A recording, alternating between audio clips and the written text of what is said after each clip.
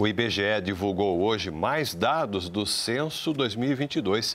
Os números revelam que o saneamento básico ainda é uma questão que precisa ser resolvida no país, já que a cobertura da rede de esgoto sofre com as diferenças regionais. Os números revelam avanços, mas as desigualdades regionais ainda persistem quando o assunto é saneamento básico no Brasil. A coleta de esgoto por rede pública na região Sudeste, por exemplo, chega a 86,2% dos domicílios. Na região Norte, a 22,8%. O estado de São Paulo apresenta a melhor situação, com 90,8%. E o Amapá, a pior, com apenas 11%.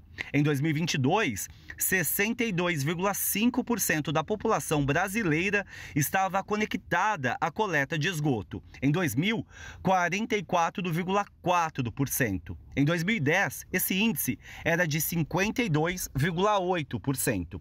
Em 2022, juntando as fossas sépticas e a rede coletora, o percentual chega a 75,7%.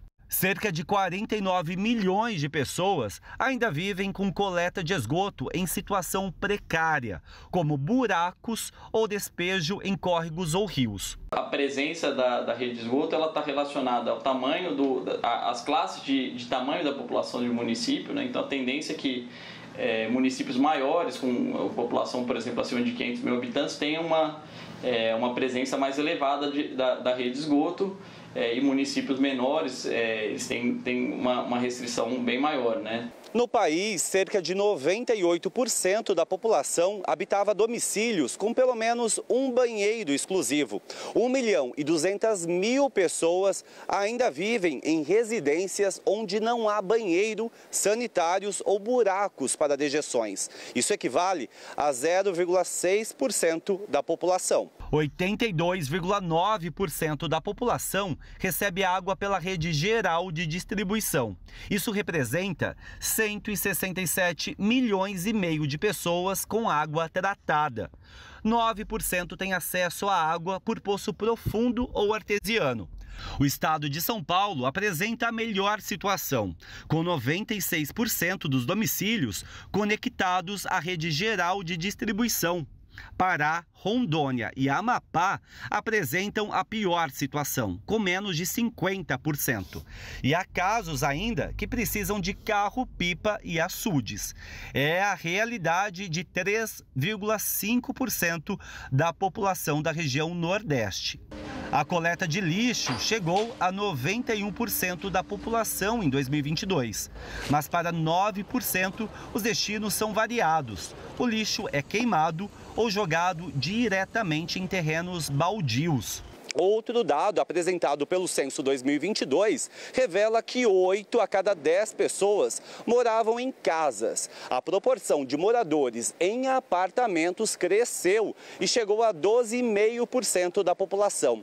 A maioria da população, cerca de 85%, morava em casa. 59 milhões de casas estavam ocupadas, com 171 milhões de pessoas morando nelas município de Santos, São Paulo, São Caetano do Sul em São Paulo também e é, Balneário Camboriú em Santa Catarina, é que se verificou a predominância do tipo apartamento.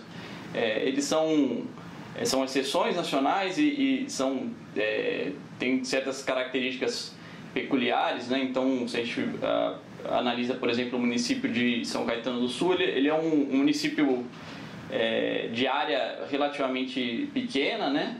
É uma população de porte médio que está muito inserido na região metropolitana de São Paulo, então é um município que, que pela formação da região metropolitana de São Paulo, está bastante próximo ao centro de São Paulo e acaba é, sendo semelhante a, a áreas do centro expandido de São Paulo.